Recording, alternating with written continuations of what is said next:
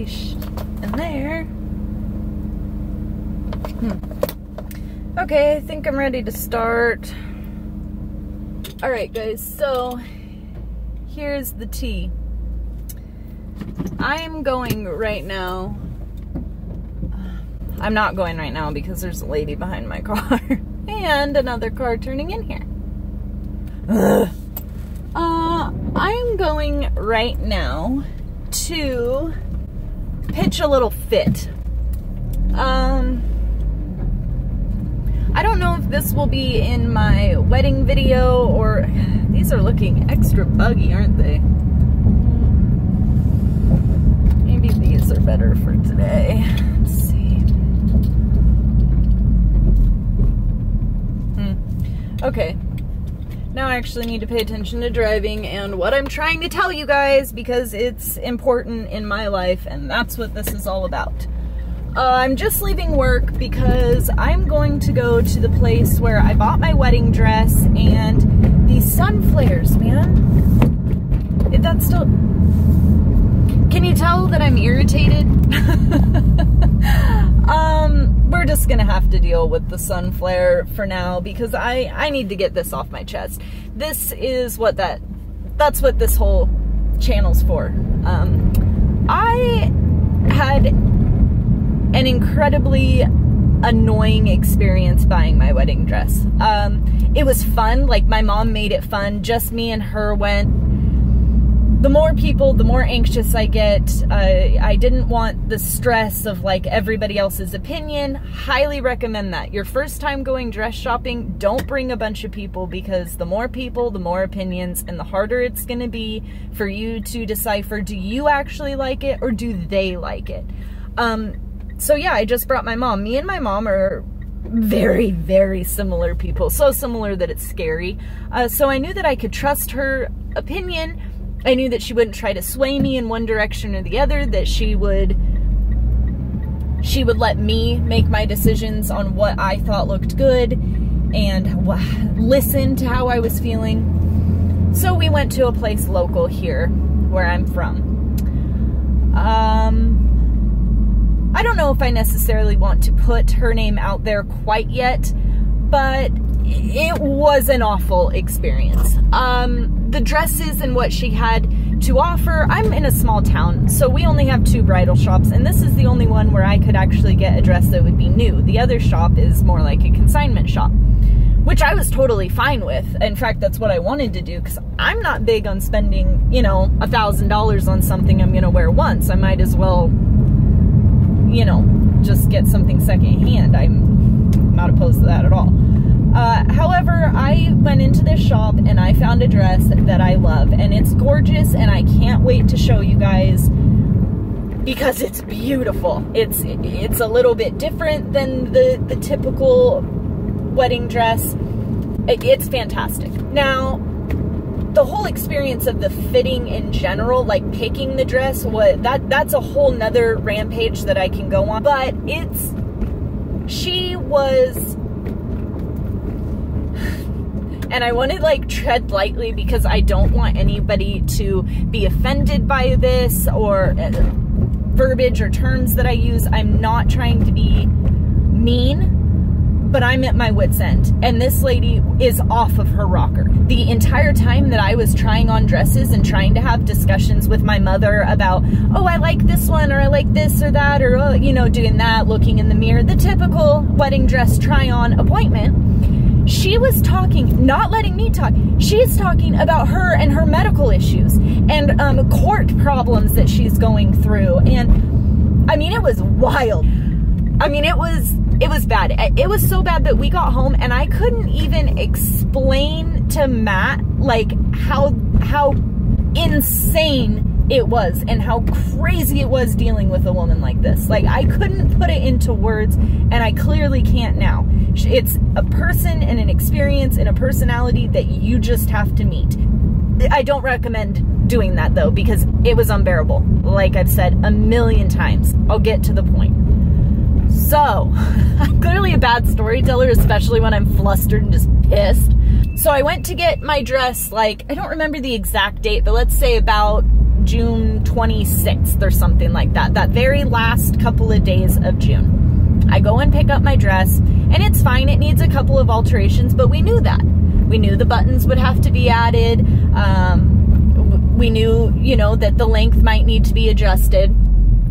But I said, well, when I picked it up, well, where is the uh, the skirt that goes underneath it? Oh, I haven't ordered that yet. The fuck do you mean you haven't ordered that yet? oh, okay. Uh, well, let's get on that. Where are the buttons? Oh yeah, those, um, I forgot to order those with the original, so don't worry though, I'm covering the cost of the speedy shipping. Fuck yeah, you are. We're a month away from my wedding, and the one thing that I wanted from this whole fucking dress was the buttons, and you didn't get them? Okay. Perfect, perfect. Thanks, lady. So the the liner for the bust, that's also missing. That also was not ordered at the time of the dress. So I said, I mean, I was livid when it came time to leave with my my dress. And once again, she wasn't listening to me. I kept saying, "Okay, well, I'm not comfortable about this this part. Is this going to be different? Well, people won't be looking at that. Well, people won't be looking at that. Like, what don't you get about the fact that I'm not comfortable? I don't care what everybody else is going to see or thinks or that's that's not my concern. If I don't feel good and confident in this, then I I don't want to wear it. That's it's about me and how I feel in this dress. So, I don't care. I don't care what you're trying to say. And she just wasn't listening. She just like talks in circles to try to cover her own ass. So then she tells me, I'll order them. They'll be here at the end of next week at the latest. Okay, so right now it's Monday. That at the latest should have been last Friday.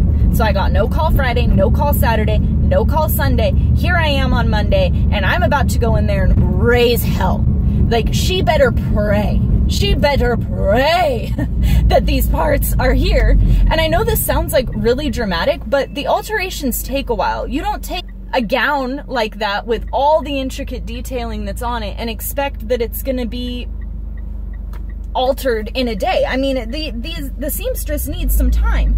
And the seamstress that I'm going to, because it's not the one that she recommended, if she's that insane, I sure as hell am not going to go to someone that she does business with. Um, so I'm going to my own, and she's great. She's done alterations for me forever, and she's awesome. But she specifically has a sign in there, which has always been one of my favorite life quotes, and it is, your poor planning is not my emergency. So, that tells you that, you know, if my stuff isn't, if it's not ready, um, and I try to bring that in there at the very last minute or whatever, and she can't do it, then I'm kind of screwed. We're just running out of time. I mean, I should have had my dress to the seamstress two months in advance. That's what I was originally told. And now here I am. And I was like, well, that's fine because I'm getting it in June. The wedding isn't until August. Well, she's over a month late on getting me my dress. Um, a month and a week late on getting me all the, the other parts. I'm just like, oh, I'm so irritated and I am so sorry for this tangent that I went on. This is like my only Bridezilla moment. I've actually been super chill. I almost said hella. Ugh.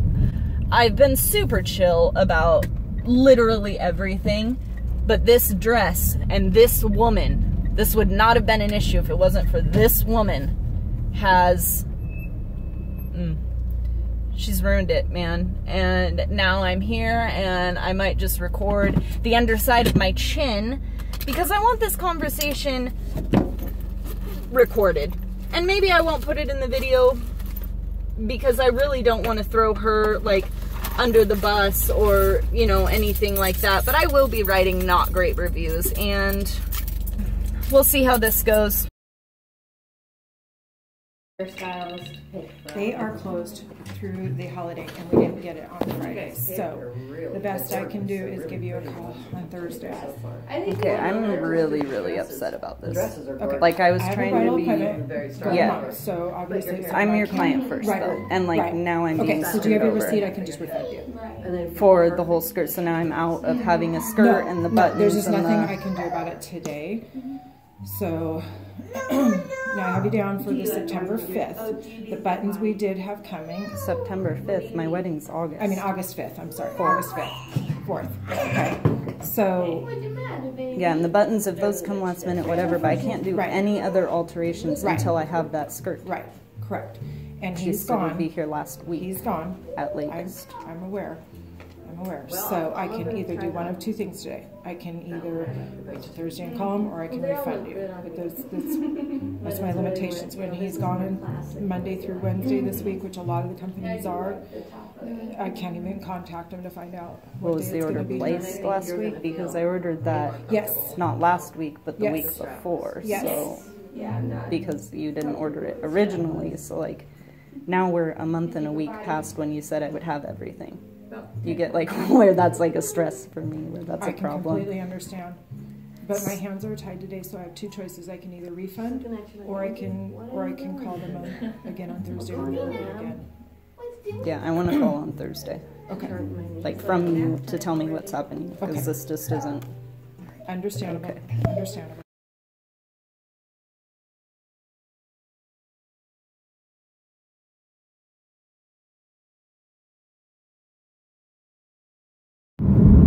Well, I've given myself a couple of minutes to calm down because I actually got so pissed and panicked and frustrated that I cried. Um, this has been miserable, and I can wholeheartedly say that this woman should not run a business. And in fact, there were people in there. There was a girl in there trying on dresses. All the women in her family were clearly there watching her, probably about six of them. And uh, I threw a bit of a fit and fell in it. I am so screwed now that I have to make an emergency run all the way down to Tigard, which, for some context, that's about an hour and a half drive without traffic, but it, now it's going to be in rush hour traffic. Uh, to buy a slip that, like the skirt thing, that will hopefully be, hopefully be the right kind. I don't know. So I got to rush home, change. Then I got to rush back to. I've kept my dress at my office that I work at because I don't. That's a safe place and somewhere where I know Matt can't sneak a look. Um, so I got to rush home, rush there to get the dress, and then essentially buy something that I've already bought over again. And in case you guys don't know or have reference, this shit isn't cheap. I don't know what to do. I'm so upset and frustrated. And now I get to drive all down there and do all of this stuff myself, like all the dress stuff and everything you're supposed to do with your mom and your friends, and it's supposed to be like this fun, great experience. And it's not. I've been robbed of that, and I'm pissed. So, I think.